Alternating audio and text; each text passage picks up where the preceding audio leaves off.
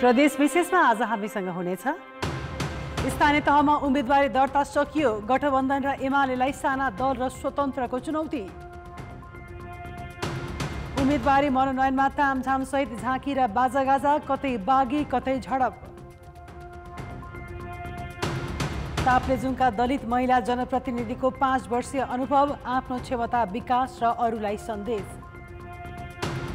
भूकम्प गएको छ वर्षसम्म पनि सकिएन पुनर्निर्माण बारपाकै सत्र परिवार अझै टहरामा। नमस्कार म श्रद्धा आर्याली थिए प्रदेश विशेषका लागि। आजका सामग्री हेर्दै गर्नुहोला प्रदेश विशेष समाचार समीक्षा र सन्देश।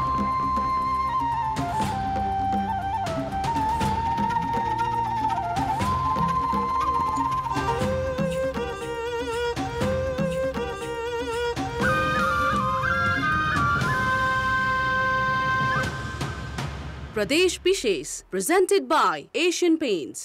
सुरुमा प्रदेश संक्षेप स्थानीय तह निर्वाचनका लागि उम्मेदवारी दिने अन्तिम दिन आज सात सय त्रिपन्नवटै तहमा मनोनयन दर्ता गरिएको छ केही स्थानीय तहमा सत्ता गठबन्धनले तालमेलबाट उम्मेदवारी दिएका छन् भने केही स्थानीय तहमा खुला प्रतिस्पर्धा गर्दै दलहरूले निर्वाचनमा मनोनयन दर्ता गराएका छन्। उम्मेदवारी दर्ताका लागि दुई दिनको समय दिए पनि दलहरू अन्तिम समयमा मात्रै पुगेकाले उम्मेदवारी दर्तामा ढिलो भएको छ। विराटनगर महानगर तथा धरान इटहरीमा सत्ता गठबन्धनको नेतृत्व गरेको काङ्ग्रेस लगायतका गठबन्धनमा आबद्ध दलले ढिला गरी उम्मेद्वार छनौट गरेर अबेरसम्म मनोनयन दर्ता गरे। यता दोलखाका स्थानीय तहमा सत्ता गठबन्धनबाट काङ्ग्रेस माओवादी केन्द्र र एकीकृत समाजवादीले प्रमुख उपप्रमुख सहित वडामा समेत भागभन्डा गरी उम्मेदवारी दर्ता गराएका छन्। दोलखाको नौवटै स्थानीय तहमा गठबन्धन गरिएको छ। नेकपा एमाले जिल्लाका सबै स्थानीय तहमा उम्मेदवारी दिएको छ। यता तनहुमा भने काङ्ग्रेस नेता गोविन्द प्रसाद जोशीले नेकपा एमालेसँग तालमेल गरेर आफ्ना छोरा दीपराज जोशीलाई ब्यास नगरपालिकाको मेयरमा उठाएका छन्। एमालेको तर्फबाट भने उपमेयर पदमा वसुन्धरा घर भर्तीले मनोनयन दर्ता गराएकी छन्। पाँच थरका आठवटा स्थानीय तहमा आइतबारदेखि नै उम्मेदवारी दर्ता प्रक्रिया सुरु गरिए पनि सोमबार मध्याहदेखि मात्रै निर्वाचन अधिकृतको कार्यालयमा उम्मेदवारी दर्ता गराउनेको भिड लागेको थियो। रौतहटमा मनोनयनको अन्तिम दिन विभिन्न पार्टीले उत्साहपूर्वक रूपमा वातावरण मनोनयन दर्ता गराएका छन्। नुवाकोटमा एमाले विरुद्ध गठबन्धनद्वारा जिल्लाका सबै स्थानीय तहमा गठबन्धनको प्रयास भए पनि अन्तिममा बेदुर बेलकोटगढी नगरपालिका र तारकेश्वर गाउँपालिकामा काङ्ग्रेस र माओवादी बीच गठबन्धन भएको छ भने तादी र शिवपुरी गाउँपालिकामा भने माओवादी र एकीकृत समाजवादी बीच तालमेल गरी मनोनयन दिएका छन्। सङ्खुवा सभामा गठबन्धनका उम्मेद्वार एकैसाथ निर्वाचन अधिकृतको कार्यालयमा पुगे पुगेर साझा रूपमा उम्मेदवारी दर्ता गरेका हुन्। नेकपा एमाले राप्रपा जनता समाजवादी लगायतका दलले पनि उम्मेदवारी दर्ता गरेका छन्। गठबन्धन भए पनि जनता समाजवादीका तर्फबाट खाँदबारी नगरपालिकाका प्रमुख र उपप्रमुखमा उम्मेदवारी दर्ता गराएको छ। सबैतिर उम्मेदवारी दर्ताको चहल पहल भइरहँदा केही तहमा भने झडप भएको छ। माओवादी कार्यकर्ता बीचको झडपका कारण सिन्धुपाल्चोकको चौतारा साँगा चोक गढीमा दिनभर मनोनयन प्रक्रिया नै अवरुद्ध भयो। निर्वाचन अधिकृतको कार्यालयमै झडप भएको हो। चौतारा साँगा चोक गढी वडा नम्बर एक र चौधको वडा अध्यक्ष एकीकृत समाजवादीलाई दिएपछि आक्रोशित माओवादी कार्यकर्ताले मुख्य निर्वाचन अधिकृतको कार्यालय नै तोडफोड गरेका हुन्। माओवादी केन्द्रका दुई पक्षबीचको झडपले उग्र रूप लिएर कार्यालय नै तोडफोड भएपछि सुरक्षाका लागि सुरक्षाकर्मी परिचालन गरिएको थियो। माओवादी आधार इलाका मानिने सागा चोकगढी चौतारा नगरपालिकाको मेयरमा बहालवाला मेयर अमान सिंह तामाङलाई नदिई कृष्ण प्रसाद सापकोटालाई दिएको भन्दै कार्यकर्ता आक्रोशित थिए। तामाङले स्वतन्त्र उम्मेदवारी दिएका छन्। उता गोर्खा नगरपालिकाको मेयरका लागि नेपाली काङ्ग्रेसबाट टिकट पाएका विश्वदेव श्रेष्ठमाथि काङ्ग्रेसकै असन्तुष्ट कार्यकर्ताले कुटपिट गरेका छन्। काङ्ग्रेस कार्य कार्यकर्ताले पार्टी कार्यालयमा तालाबन्दी समेत गरेका छन्। गोरखा नगरपालिकाको उम्मेदवारी दर्ता पनि ढिला भइरहेको छ। दुई नगरपालिका र आठ गाउँपालिका रहेको खोटाङ दिक्तेल रूपाकोट मझुवागढी नगरपालिकाको प्रमुखमा नेपाली काङ्ग्रेसबाट महासमिति सदस्य धर्मराज पोखरेलले टिकट पाएपछि अर्का आकाङ्क्षी तीर्थराज भट्टराईको समूहले पार्टी कार्यालयमा तालाबन्दी गरेका छन्। प्रदेश कार्य समितिले पोखरेललाई टिकट दिएपछि विराटनगरबाट उनी हेलिकप्टर चार्टर गरी उम्मेदवारी दर्ता गर्न आएका थिए। तर भट्टराई पक्षधरहरूले हेलिप्याडमै दुर्व्यवहार गरेका छन्। त्यसपछि उनलाई पार्टी कार्यालयभित्र ताला लगाएर थुनिएको थियो। राष्ट्रिय मानवाधिकार आयोग र प्रहरीले उद्धार गरेपछि सुरक्षा घेरामा मुख्य निर्वाचन अधिकृतको कार्यालयमा उनी उम्मेदवारी दर्ता गर्न पुगेका हुन्। प्रदेश विशेष बाँकी नै छन्। पालो भएको छ ब्रेकको.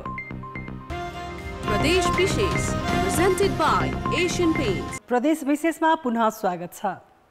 मुलुक स्थानीय तह निर्वाचनमा होमिएको छ। दलका नेता कार्यकर्तादेखि स्वतन्त्र उम्मेद्वार बन्नेहरू मतदाता तान्न सक्रिय छन्। अघिल्लो पालिका निर्वाचन जितेका ताप्लेजुङका दलित महिलाले भने जनप्रतिनिधिका रूपमा आफ्नो पाँच वर्षे कार्यकाललाई कसरी हेरेका छन् त?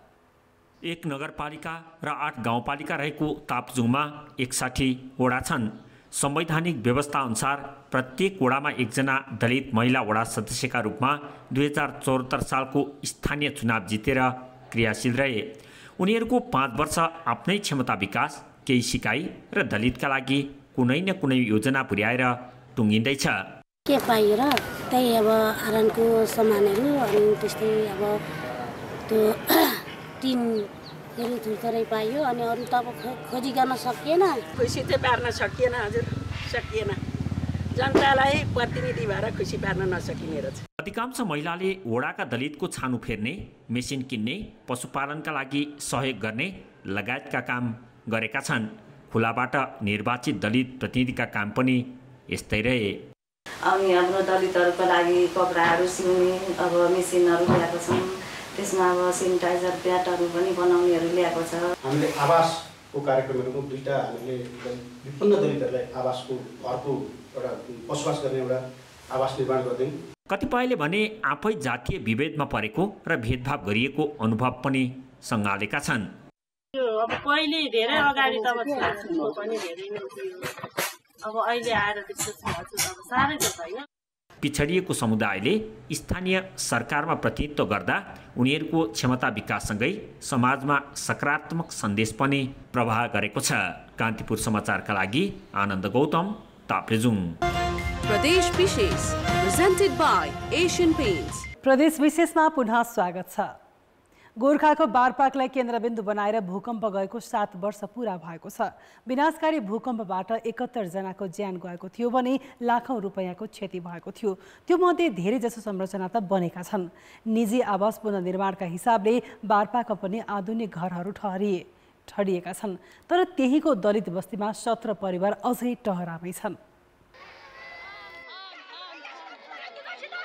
दुई हजार बहत्तर वैशाख बाह्र गतेको भूकम्पको केन्द्रबिन्दु गोर्खाको बारपाकमा भत्केका मध्ये अधिकांश नयाँ घर बनिसकेका छन्।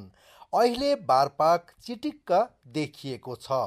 तर त्यही भूकम्पले घर भत्किएपछि जमिन नै जोखिममा परेर अर्को ठाउँमा सरेका दलित बस्तीका सत्र परिवारको भने अहिलेसम्म टहराकै बास छ। यहाँ बस्न आएको अहिले सात वर्ष भयो।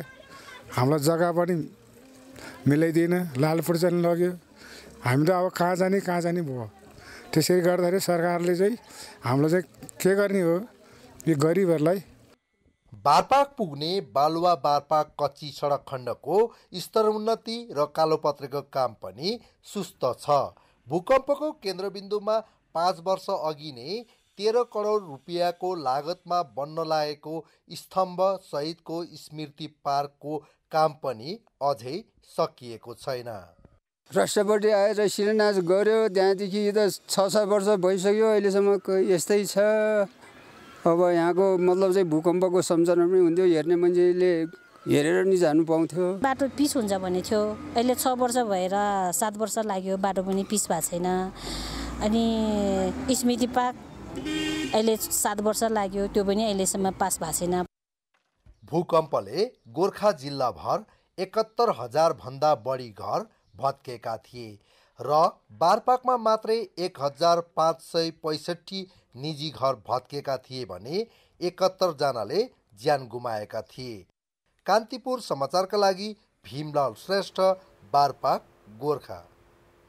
आज स्थानीय तह निर्वाचनका लागि मनोनयन दर्ता गर्ने अन्तिम दिन। साथै प्रदेशमा तामझामसहित उम्मेदवारी दर्ता भएको छ। कति ठाउँमा सत्ता गठबन्धन नटिकेर पार्टीगत हिसाबले नै उम्मेदवारी दर्ता भए भने अधिकांश क्षेत्रमा गठबन्धनसहित उम्मेदवारी दर्ता भएको छ। साथै प्रदेशमा उम्मेदवारी दर्ताको क्रममा रौनकता छाएको थियो। एकासी हजार सात सय चौरानब्बे मतदाता रहेको नेपालगञ्ज उपमहानगरमा सबै पार्टीका उम्मेदवारहरूले आफ्नो मनोनयन पत्र दर्ता गराइसकेका छन्। उम्मेदवारी हेर्दा महिलाको सङ्ख्या निकै न्यून देखिएको छ। विभिन्न राजनीतिक दलहरूले गठबन्धनका साथ निकै उल्लासमय वातावरणमा आज मनोनयन दर्ता गरेका छन्। रुकुम पश्चिमका छवटा स्थानीय तहका लागि यहाँ क्रियाशील राजनीतिक दल तथा विभिन्न उम्मेद्वारहरूले आज मनोनयन दर्ता गरेका छन्। छवटा पालिकामा स्थापना गरिएका निर्वाचन अधिकृतको कार्यालयमा पुगी उम्मेद्वारहरूले आफ्नो उम्मेदवारी दर्ता गरेका हुन्। निकै रस्सा कसीका बीच सत्ता गठबन्धनले उम्मेदवारी दर्ता गराएको छ भने नेकपा एमाले सर्वसम्मत रूपमा उम्मेदवारी टुङ्ग्याएर उम्मेदवारी दर्ता गरेको छ। कान्तिपुर समाचारका लागि बालकृष्ण अधिकारी हेटौडा मकवानपुर। म यतिखेर मुख्य निर्वाचन अधिकृतको कार्यालयमा छु सभाको खाँदबारीमा र यतिखेर गठबन्धनका दल र नेकपा एमाले लगायत साना दलहरूले उम्मेदवारी दर्ता गरिसकेका छन् सदरमुकाम खाँदबारीमा भने यसबाहेकका पाँचवटा नगर र पाँचवटा गाउँपालिकामा पनि गठबन्धनका दल र नेकपा एमाले सहित साना दलहरूले नाम दर्ता गरिसकेका छन्। र म अहिले धनगढी उपमहानगरपालिकामा छु। यो सुदूरपश्चिम प्रदेशका नौवटै जिल्लाको एक मात्रै उपमहानगरपालिका हो। मुख्य निर्वाचन अधिकृतको कार्यालय अगाडि अहिले विभिन्न राजनीतिक दलका उम्मेदवारले आफ्नो उम्मेदवारी दर्ता गराइरहनु भएको छ। उपमहानगरपालिकामा नगर प्रमुख र उपप्रमुखमा गठबन्धन भए पनि उन्नाइसवटै वडामा सबै पार्टीले आफ्नो तर्फबाट उम्मेदवारी दर्ता गराएका छन्। यो उपमहानगरपालिकामा डुबान समस्या बाटोघाटो लगायतका विभिन्न विकास निर्माणका कुराहरूले आफ्नो चुनावी एजेन्डा बनाएका छन्। म यति बेला मुख्य निर्वाचन अधिकृतको कार्यालय सल्यानमा छु। सल्यानका दसवटा स्थानीय तहमा विभिन्न राजनीतिक दलहरूले तामझामका साथ मनोनयन दर्ता गराएका छन्। मनोनयनको अन्तिम दिन दिउँसो तिन बजेसम्म पनि कुनै पनि राजनीतिक दलहरू उम्मेदवारी दर्ता गराउन आएका थिएनन्। चार बजेपछि मात्रै आफ्नो उम्मेद्वार टुङ्गो लगाएर दलहरू उम्मेद्वार दर्ता गराउन आएका थिए। चुनावी तालमेलका लागि सत्तारूढ गठबन्धन दलहरूले पटक पटक छलफल गर्दा पनि भागभण्डामा सहमति जुट्न नसकेपछि छुट्टा छुट्टै उम्मेदवारी दर्ता गराएका छन्। कर्णाली प्रदेशका उनासीवटै स्थानीय तहमा गठबन्धन दलहरूले आफ्नै उम्मेद्वारहरू लिएर आएर उम्मेदवारी दर्ता गराएका हुन्। भौगोलिक हिसाबले मुलुककै सबैभन्दा ठुलो पोखरा महानगरपालिकामा पनि मुख्य दलहरू नेकपा एमाले र पाँच दलीय गठबन्धनले उम्मेदवारी दर्ता गराएका छन्। त्योसँगै केही साना दलहरू र स्वतन्त्र उम्मेदवारले पनि उम्मेदवारी दर्ता गराएका छन्। शान्तपूर्ण रूपमा चितवनमा पहिलो र दोस्रो दिन मनोपत्र दर्ता कार्यक्रम सकिएको छ। कान्तिपुर समाचारको लागि राजु चौधरी भरतपुर चितवन। परिक्रमा गर्दै विभिन्न बाजागाजाका सङ्घ आफ्ना शक्ति प्रदर्शन गर्दै मोटरसाइकल र्याली निकाल्दै आज जनकपुर धाम उपमहानगरपालिका परिसरमा उम्मेदवारी दर्ता गराएका छन्। कान्तिपुर समाचारका लागि सहकर्मी ब्रिकेश यादवका साथ अमरकान्त ठाकुर जनकपुर धाम धनुषा। निर्वाचन आयोगले तोकेको उम्मेद्वार मनोनयनको आज अन्तिम दिन। मध्य प्रदेशको एक मात्र महानगरपालिका वीरगञ्ज महानगरको नेतृत्वका लागि विभिन्न राजनीतिक दलसँगै स्वतन्त्र उम्मेदवारहरूले प्रमुख उपप्रमुख वडाध्यक्ष र वडा सदस्य लगायतका पदमा उम्मेदवारी दर्ता गराएका छन्। निर्वाचन कार्यालयका अनुसार सिन्धुपाल्चोकको बाह्र स्थानीय तहमा उत्साहपूर्ण रूपमा मनोनयन दर्ता भएको छ। तर सिन्धुपाल्चोकको चौतारा साँगाचोक गढी नगरपालिकामा भने उम्मेद्वार छनौटमा मनोमानी गरेको भन्दै माओवादी केन्द्रका कार्यकर्ताहरू बीच झडप भएको थियो। झडप भएको करिब एक घन्टा समयसम्म मनोनयन दर्ता प्रक्रिया रोकिएपछि अहिले पुनः मनोनयन दर्ता प्रक्रियालाई अगाडि बढाइएको छ। कान्तिपुर समाचारका लागि कमला पाखरिन सिन्धुपाल्चोक।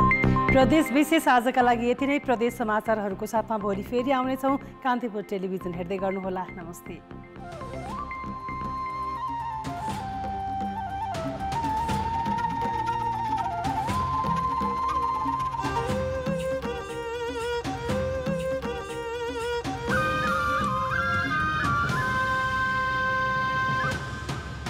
प्रदेश विशेष।